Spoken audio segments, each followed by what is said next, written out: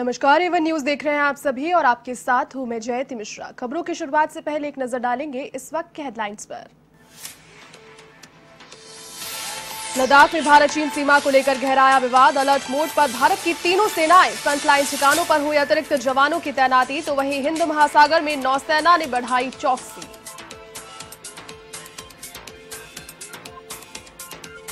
गलवन घाटी में चीन के दांत खट्टे करने वाले शहीदों की पार्थिव देह पहुँची पैतृक गाँव गम और गुस्से के बीच दी शहीदों को अंतिम विदाई अपने लाल की अंतिम यात्रा में उमड़ा जनसैलाब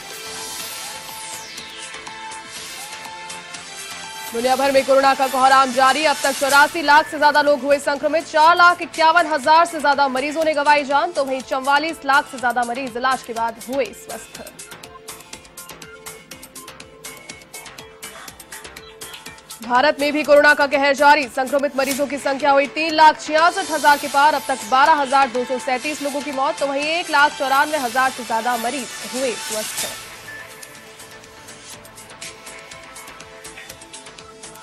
राजस्थान में राज्यसभा चुनाव का रण, कांग्रेस बीजेपी के प्रशिक्षण शिविर का आखिरी दिन। वोटिंग से पहले आज विधायकों से करवाई जाएगी मॉक पोलिंग।